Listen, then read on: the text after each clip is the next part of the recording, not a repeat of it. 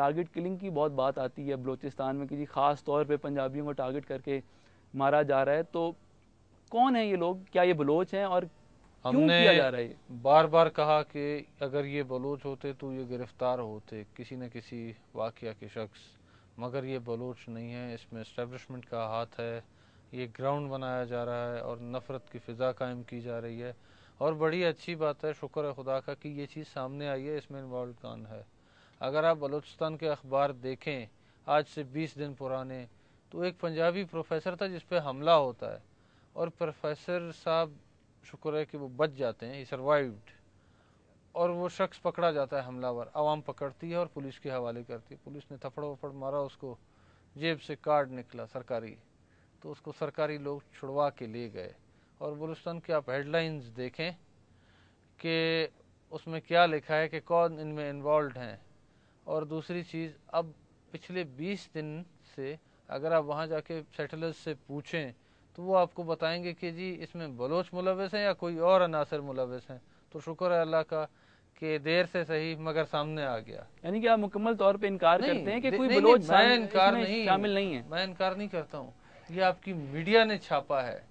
تو آپ ان سے پوچھیں کہ وہ غلط بیانی کر رہے ہیں یا صحیح کر رہے لیکن میڈیا یہ بھی کہتا رہا ہے کہ وہاں پہ ٹارگٹ کلنگ ہو۔ رہی ہے خاص طور پہ جو وہاں۔ پہ ورکر کلاس ہے حجام ہیں مزدور۔ ہیں ان کو ٹارگٹ کر کے ٹھیک ہے جی یہ پرانی بات ہے جو نئی بات ہے آج سے بیس دن پرانی مستونگ کا واقعہ آپ تصدیق کیجیے بلوچستان کے آپ انٹرنیٹ پہ اخبار دیکھ لیجیے سب کے ہیڈ لائنز میں کیا آیا ہوا ہے کہ کون ملوث تھا اور کون لوگ پکڑے گئے تھے اور جو چھڑوا دیے گئے تھے تو کیا قانون اور انصاف ہر کسی کے لیے برابر نہیں ہے؟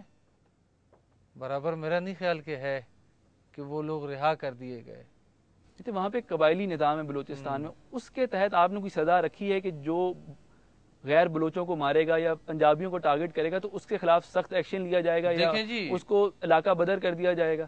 جیسے 1972 میں سردار عطا اللہ منگل وزیر اعلیٰ بنے تو پنجابیوں کو نکلنے کا حکم جاری کیا انہوں نے۔ تو 73 میں نواب اکبر بگٹی گورنر بنتے ہیں اور ان کی گورنمنٹ ڈسمس کر کے گورنر آج نافذ کرتے ہیں۔ تو سب کو کہا کہ واپس آ جائیں۔ جتنا بلوچستان ہمارا ہے، اتنا آپ کا ہے۔ چاہے وہ پنجابی ہو، سکھ ہو، چاہے پٹھان ہو، چاہے فارسی بان ہو، چاہے منورٹیز کو ہوں۔ ہم تو ہمیشہ ہر کسی کو ساتھ لے کے چلے ہیں۔ ایسا نہیں ہے کہ ہم نے کسی کو پیچھے رکھا اور ہم نے کہا کہ نہیں جی ہم اس کو فیور کرتے ہیں۔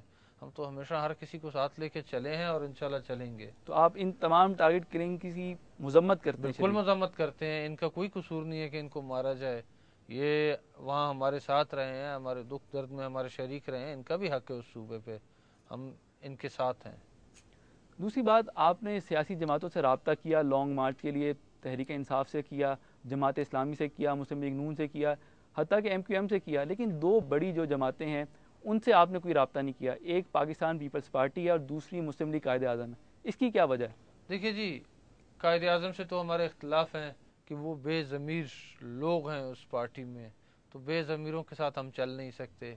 اور پیپلز پارٹی سے وہ آئیں موسٹ حکمراں جماعت ہے ان وہ تو ویسے شرکت کریں گے آ کے دیکھیں جب اس لانگ مارچ میں ان کے وزراء آئیں کہ وہاں پہ کیا حال ہے۔ یعنی آپ نے رابطہ کیا ان دونوں جماعتوں سے خاص طور پر پیپلز پارٹی کسی ہم نے رابطہ نہیں کیا۔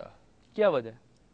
اس میں کوئی وجہ نہیں ہے بس ہم نے رابطہ نہیں کیا۔ اگر آنا چاہیں تو آئیں ان کا ذمہ داری بنتا ہے ایک حکمراں جماعت کے ہوتے ہوئے کہ وہ آئیں۔ جب ہماری لانگ مارچ شروع ہوگی تو اس میں شرکت کریں۔ جب آپ ان کو دعوت ہی نہیں دے رہے تو جی وزیر داخلہ کو دعوت نہیں دی جاتی اس کا فرض بنتا ہے کہ اٹس ہز ڈیوٹی کہ وہ وہاں آئے اور حالات کو یقینی بنائے کہ سب وہاں واپس جا سکیں۔ تو انوائٹ کرنا یا نہ کرنا تو وہ تو ایک الگ چیز ہے، ایک جماعتی لیول پہ۔ اس سے ہٹ کے جو وہ پوزیشن ہولڈ کرتے ہیں، وہ ان کی ڈیوٹی بنتی ہے کہ he has to be there